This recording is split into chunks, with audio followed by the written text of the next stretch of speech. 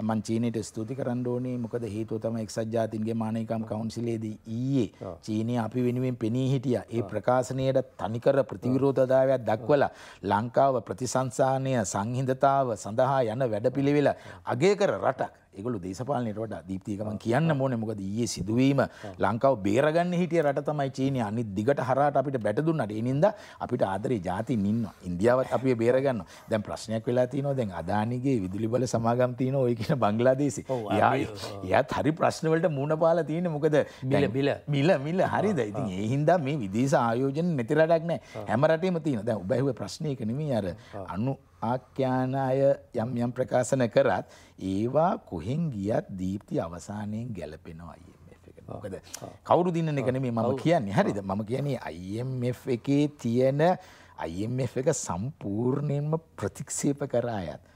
IMF පිළිගන්නවා. ඒක ලොකු ජයග්‍රහණයක් ලංකාවේ.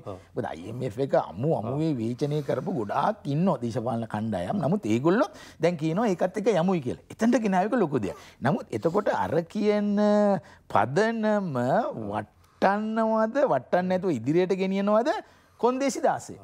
දැන් මම දැනගන්න කැමති ලංකාවේ දේශපාලන පක්ෂ හෝ එම නැත්තන් තිස්සටක් ඉන්න අපේක්ෂකය මේ කොන්දේසි දාසේ ගැන ගුළු මොකද කිය. කොන්දේසි දාසය වෙනස් කරන්න බෑ. ඒ කොන්දේසි දාසයට ලං වෙන ක්‍රමය තමයි ඔයා කියන්නේ යම් යම් විදිහට වෙනස් වෙන්න පුළුවන්.